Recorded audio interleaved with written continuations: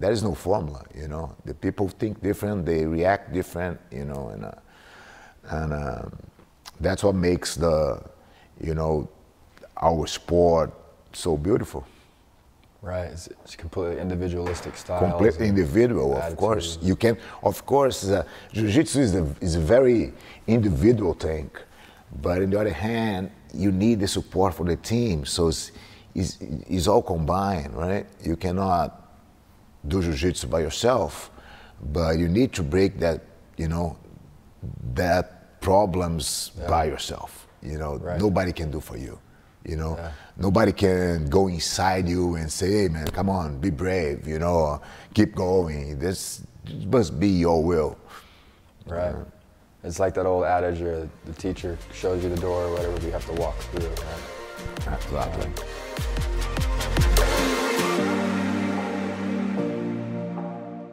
What's up, everybody? I'm here with Fabio Gurgel uh, at Alliance Jiu Jitsu in Keller. We're here to uh, talk about his tour and uh, his Viver de Jiu-Jitsu. I had a really incredible time when I was training uh, down in Sao Paulo with you. Uh, it was years ago, but I, yeah. I was like one of my dreams. Like I'm gonna go train with the general in Sao Paulo, and like yeah, it was a good time. It was a good I, time. I remember like just being blown away by like man, this crazy atmosphere. So many, so much testosterone, so many like just world champions in one room, like just murdering each other. Yeah it was really remarkable to see like and then just to be a part of it also but just it's really it was super humbling in a lot of ways but um, how do you how do you go about managing those those egos over the years like you know decades and keep your academy together and, manage yeah all that i think we learn uh, a lot of our mistakes right alliance had a had a split in 2002 uh, when we lost all the black belts we had in that time, you know, and it was a, a really, you know, shock thing for us.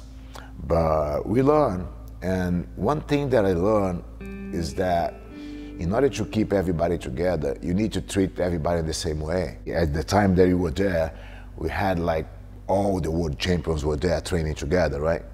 But I just don't feed their ego, you know. I treat them like anybody else, right? They, they gotta do the hard work as everybody does. They, they need to show up first and leave the mat last. And uh, that's, that's the way I believe uh, the guys can accomplish what they accomplish. There's no secret, it's just don't feed the ego.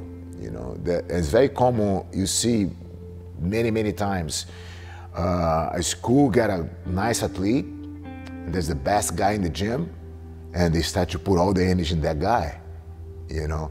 So you you not just create a monster, you know, giving all the attention to the guy, putting the putting the guy in the pedestal, but you also uh, treat the other guys the wrong way. So you don't give attention to the majority of the students because you are just taking care of the guy that are good in competition. So you never build a team like that. You know, in order to build a team, you need to to, to treat everybody the same way, with the same respect, same attention. Sometimes the guy that, you know, were there training quiet, you know, that's the guy gonna get the best result. You never know, right? So you just need to treat everybody in the same way. And this is not just for the academy, I think it's for life in general, you know, I have to respect everyone. So uh, regarding your academy specifically, what, what did you learn having the academy for so long? I helped Jacaré in his academy since I was 15, right? So I've been working the academy all my life. But I got to a point when I had like close to 300 students in my academy in Sao Paulo. And uh, I was thinking, man, come on, why can't I grow this business in a way that that I should, that I imagine, you know, that I dream of? You know, uh, we are in São Paulo, it's a 20 million city, you know, people, and uh, and we should bring more people to jiu-jitsu. What I'm doing wrong? And then I realized that we didn't have any source to get the information. You know, I was doing the same thing that the people are doing now, you know, just teaching the classes and put myself there, all my energy, but I was doing a lot of mistakes.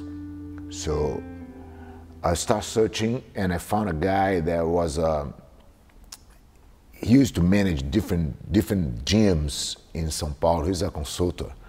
And uh, I hired this guy for three years, you know, to work with me. And uh, so I, I started understanding every small aspect, you know, that change your business. And I started to apply on my own, right?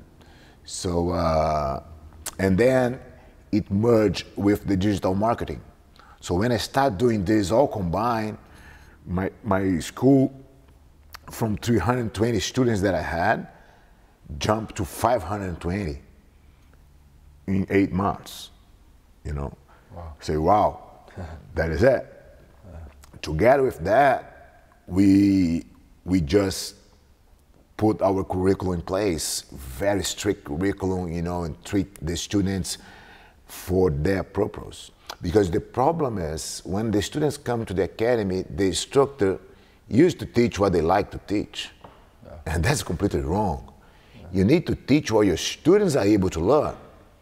Right? So it's, it's, it's just, you just need to change your point of view when you teach. Right? And teaching is about giving. And what, when you are a fighter, a competitor, is all for you, right? So that switch that the instructors sometimes they don't realize that they need to do, right?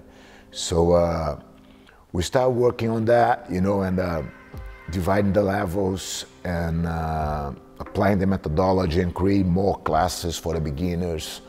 And, uh, and then the, I just see the academy growing and growing and growing until uh, they, they, they will reach the full capacity of my academy, you know and I'm still there. Of course, sometimes you lose some students, you go back, but I, I have pretty much 100% of my, my capacity that I can, you know, that I can have in my academy. Awesome. And I'm and I'm not there for three months. Right, you've been been touring for three months. Because there's another thing that we, we cover on the course is that we need to to build a business, not a job, right? So if you need to of course, you need to work, and I, I have worked in my academy forever, right? For I used to teach like 11 classes a day. Right. You were there, you, you saw me teaching many, many classes every day. But the point is, you need to, of course, as you get older, you don't want to teach that much anymore. You don't have energy to do that. So you need to build a business in order to one day you can step out and your business is still there.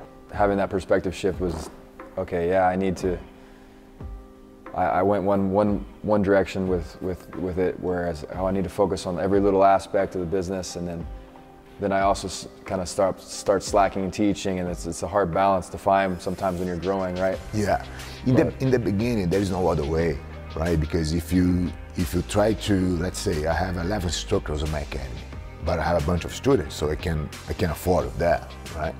But in the beginning there is no other way. You have to teach, right? You have to teach, you have to, to, to, to graduate your students so one day you can have another instructor that gonna help you out so you can step a little bit out and do other things.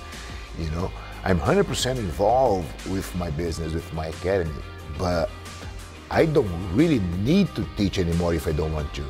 I go there because I love to teach, yeah. right? But my business runs without me. That would be would that be your definition of that's a successful academy that's kind of reached it's mature maturation. That, that, that's what I think. That is I believe. You know, and uh, it takes around ten years to get your academy mature enough to for you to step out.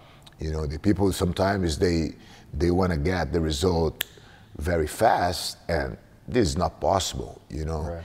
You, your academy in 10 years, you're gonna rotate a bunch of students, you know, they gonna, the students gonna bring more people and and then you have the, the kids training for you because the parents were your students before. So that kind of rotation make your academy sustainable, right? So that's when we reach the mature. But before that, you need to be there on the mat. You need to create that, you know, that culture and that philosophy in your academy for sure.